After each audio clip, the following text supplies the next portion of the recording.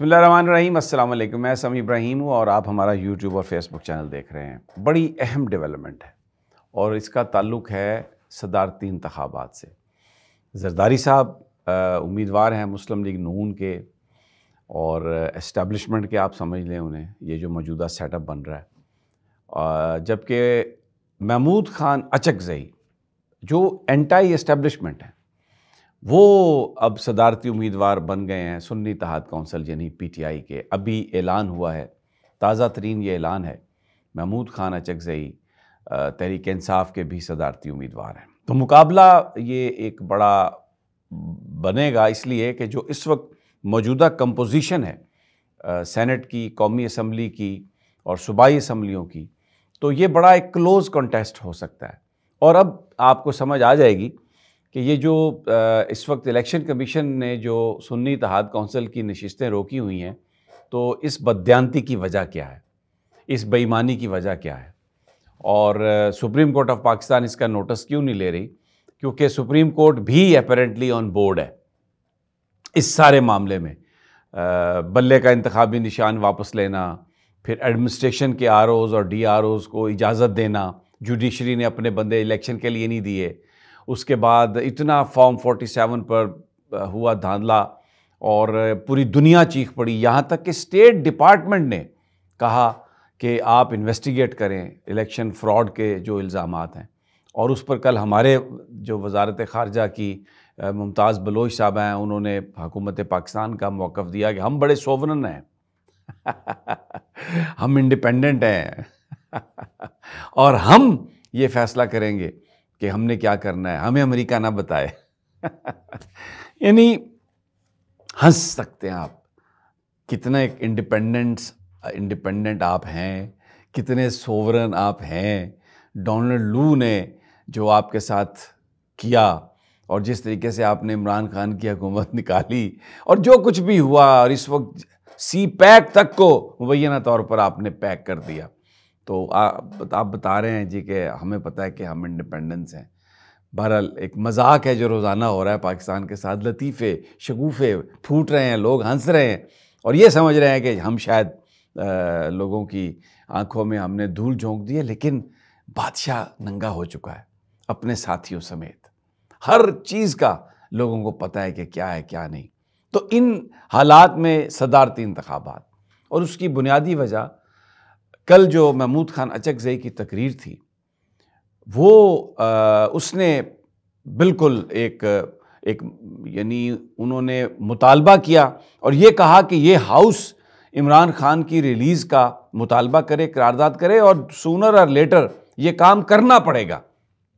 और जो लोग अवाम के वोट को तब्दील करने की कोशिश कर रहे हैं वो गद्दारी है। यानी जो वोट पीटीआई को मिला और उन्होंने एक एमएनए या एमपी इलेक्ट किया तो आपने फॉर्म 47 में उसको हरवा दिया और एक हारे हुए को जितवा दिया तो ये आपने इमरान, ये आपने गद्दारी की, ये आपने वोट तब्दील किया। इसी तरह ज़बरदस्ती किसी को गन पॉइंट पे ले जाके आपने वफादारियाँ तब्दील कराई तो ये भी गद्दारी के मुतरदफ़ है। तो इमरान को हकूमत दे दें आप। मौलाना फजलरहमान ने भी ये बात कही कि अगर इमरान खान जीता है तो आप उसको दे दें। और ये सबको पता है कि ये जो हुआ है, ये फ्रॉड हुआ है। और कल जब नवाज़ शरीफ साहब गए शहबाज शरीफ के लिए वोट लेने के लिए तो मौलाना ने कहा कि सोच के बताएँगे आपको। कल भी मैंने आपको ये बात बताई थी अपने वीलॉग में। लेकिन आज अब सुन्नी तहाद कौंसल ने, जो कि तहरीक इंसाफ है, उन्होंने ऐलान कर दिया है कि महमूद खान अचकजई हमारे सदारती उम्मीदवार हैं। तो एक नई गेम बन गई है। अब थोड़ा आपको समझना पड़ेगा कि सदारती इंतबात में वोट कौन डालता है। एक तो कौमी असम्बली और सैनट का जो हर मेंबर है ना, सदारती इंतबात में उसका एक वोट है।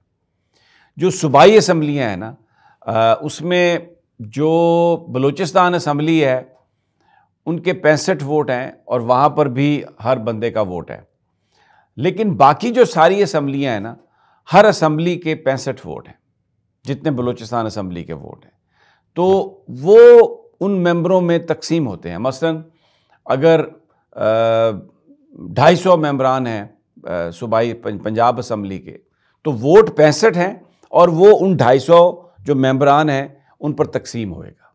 तो इसका मतलब है कि तीन या चार वोट जो हैं, वो एक वोट के बराबर होंगे दूसरी असम्बली, क्योंकि ये हमारा एक कंपोजिशन है जो कॉलेज है इलेक्ट्रल कॉलेज सदारती अब उसमें आप देखें, तेईस जो ख़वातीन की नशस्तें कौमी असम्बली में रोकी हैं इलेक्शन कमीशन ने सुन्नी तहाद कौंसिल की। तो इसका मतलब है कि ये तेईस वोट महमूद खान अचकजई के या सुन्नी तहत कौंसिल पीटीआई के होते।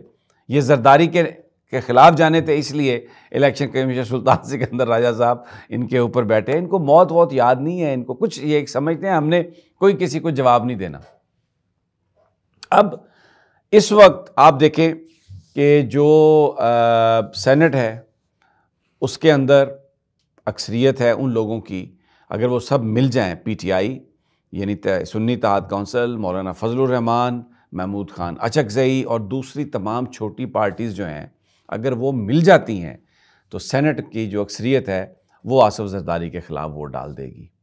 अब कौमी असम्बली में आ जाते हैं तो यहाँ पर तेईस नशस्तें रोकी हुई हैं तहरीक इंसाफ की और फिर उसके बाद जो एम क्यू एम है, इक्कीस नशस्तें सोलह अब उनकी जो इक्कीस नशस्तें हैं, वो भी आसफ जरदारी साहब के साथ अगर कोई उनसे कहेगा आके तो वो उन्हें वोट देंगे अदरवाइज़ उनकी डिमांड होगी कि जनाब आप हमें ये दें। और अगर वो देते हैं जरदारी साहब को वोट तो फिर उनकी जो अपनी सूबाई इसम्बली की और जो सूबे की पॉलिटिक्स है, खैर, वो देख लेते हैं आप। तो इंटरेस्टिंग है ये।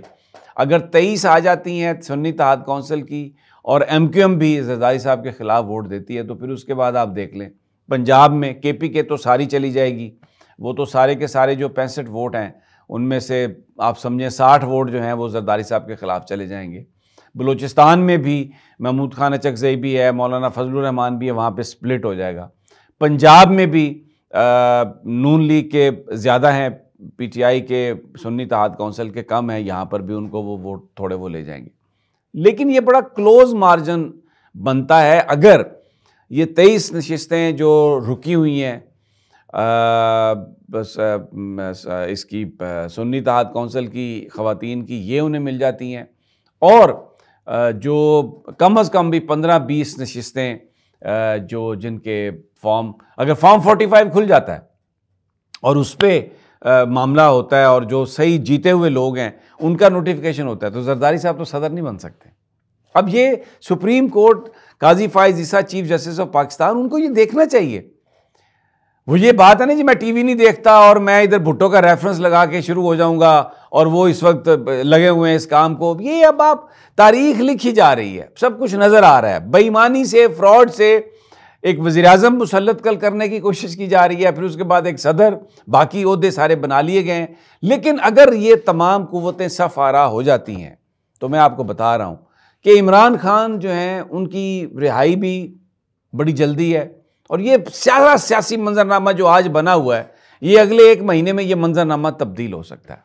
और आज बड़ा इंपॉर्टेंट है कि जो आज एहतजाज की कॉल है कि किस तरह से उसको मैनेज किया जाता है आ, लोग क्या मैसेज देते हैं।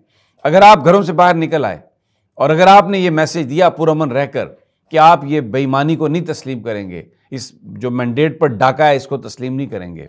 तो मैंने जो आपको अभी ये सारा एक नई इमर्जिंग सिचुएशन बताई है ना, कि जो महमूद खान अचक जई हैं, ये जरदारी की परेशानी का बायस बन सकते हैं। और जिस तरह लोगों ने पूरा जो एक मंजरनामा पहले बना लिया गया था, उसको पलटा के रख दिया है। और इस वक्त अब शबाज शरीफ साहब बार बार हॉस्पिटल जा रहे हैं, पता नहीं क्या उनकी तबीयत को हो गया। तो ये सूरत हाल बहुत जल्द ये बदलने वाली है और बदल सकती है। आज का एहतजाज भी इस हवाले से बहुत अहम है। इजाज़त दीजिए अगली वीडियो तक। अल्लाह ने के बाद।